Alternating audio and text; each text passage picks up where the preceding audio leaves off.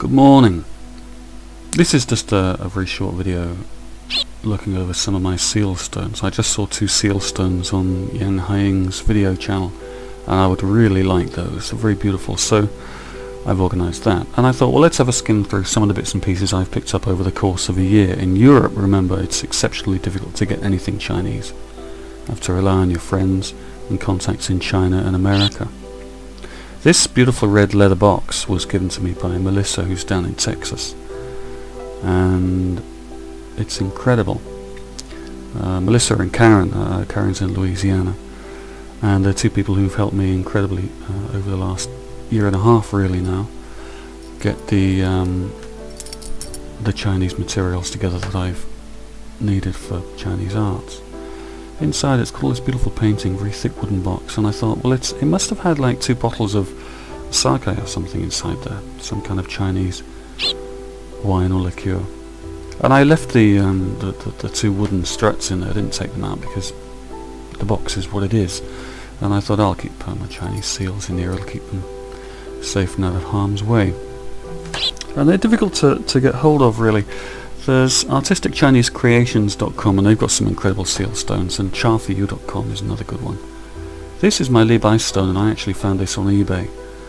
Uh, I won this stone.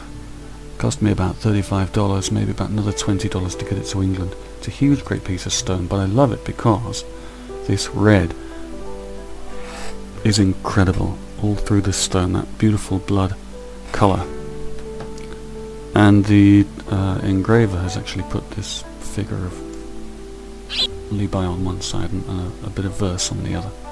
Very wonderful stone. It's blank, I haven't carved anything on it yet.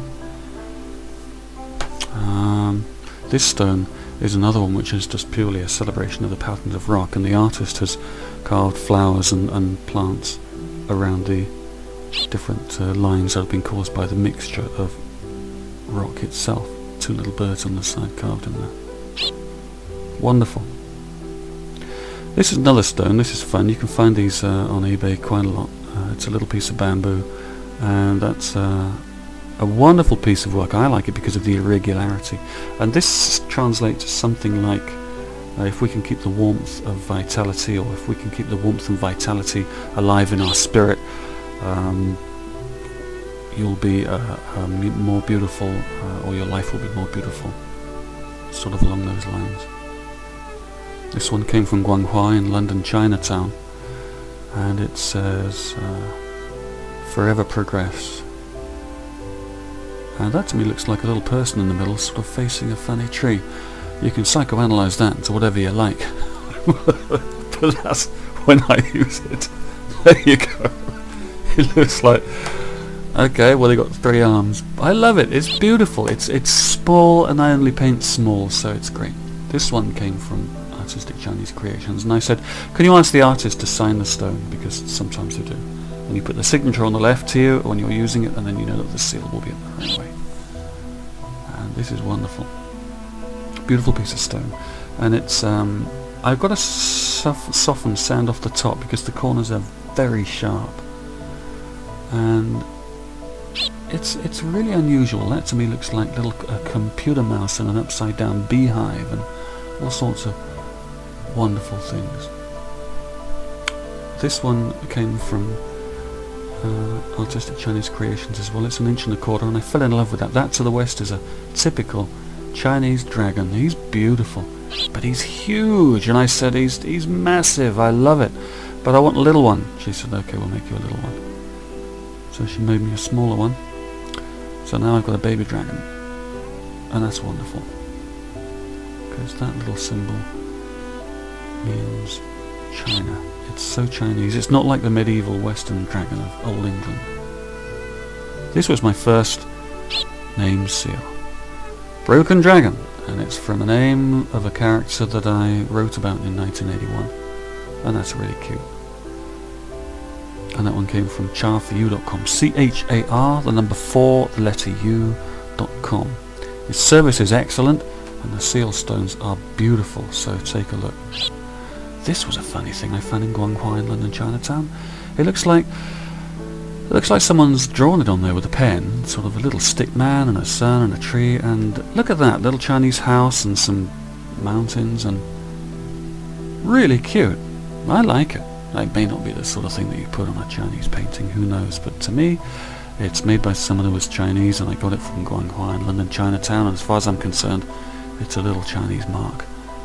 I, don't know what, what it means, but I love it. It's beautiful. This one's from charforyou.com, and the, I asked him to get the carver to sign it, and he did. I didn't like the carving on the bottom, so I made my own, as you can see there. And the top symbols are two words. One word is two symbols for distant, and then the next one down is dragon.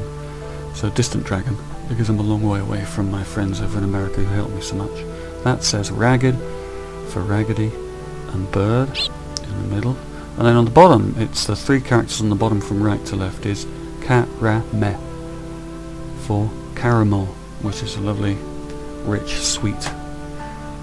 And Karame is Karen and Melissa for the two people who've helped me so much over in Louisiana and Dallas.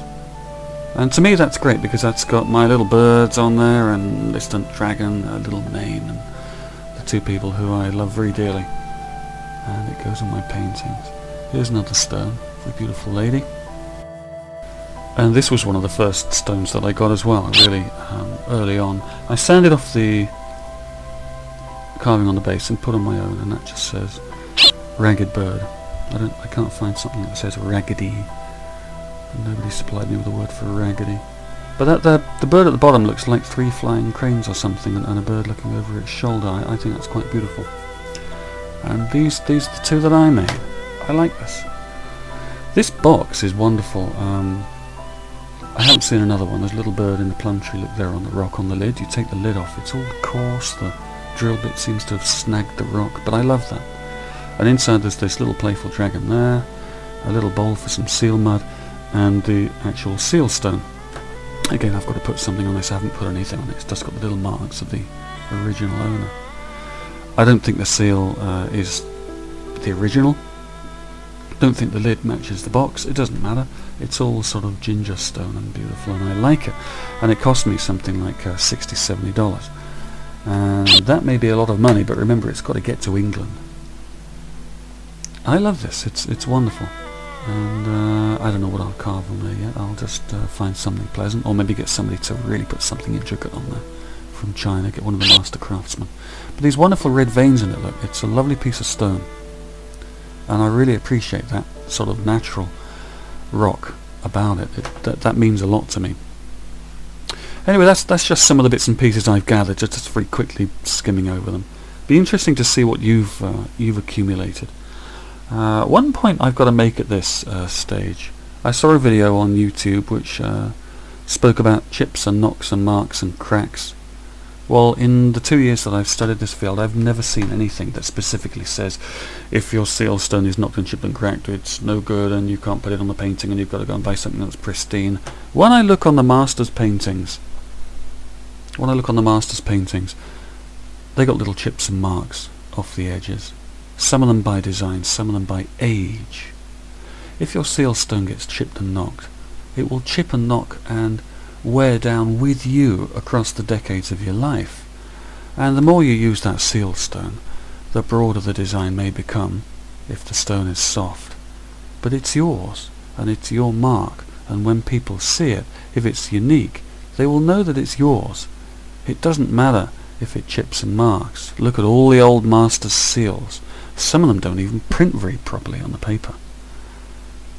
They are damaged and blemished. And that's stone. If you don't like that, feed your painting through an A3 printer computer, and the computer will print a pristine, identical mark perfectly with the correct opacity across all your paintings. But if you want to be like the old ancient masters, get your piece of stone, and it doesn't matter if it gets a few knocks and marks. Who cares? It's made of stone. It's not moulded plastic. It's not cast iron. Some of them are, but these aren't. I prefer the stone. They're beautiful, and it's your signature. Anyway, best wishes, thanks for calling in, and we'll catch you soon. Bye bye.